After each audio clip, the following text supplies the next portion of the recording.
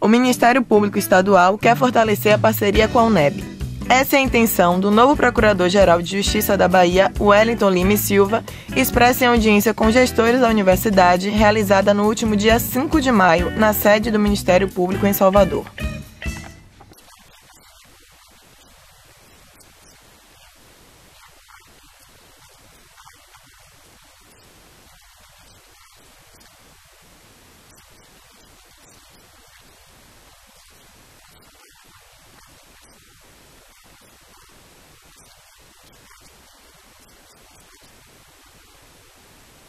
A UNEB e o Ministério Público são parceiros em diversas ações, a exemplo do Programa de Capacitação e Educação em Direitos Humanos, que oferece cursos de especialização e, em breve, um novo mestrado, já aprovado pela CAPES.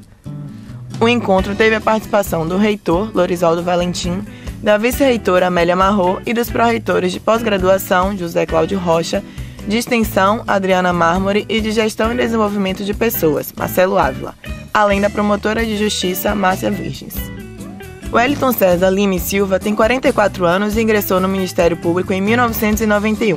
Assumiu a chefia em março deste ano por nomeação do governador Jacques Wagner.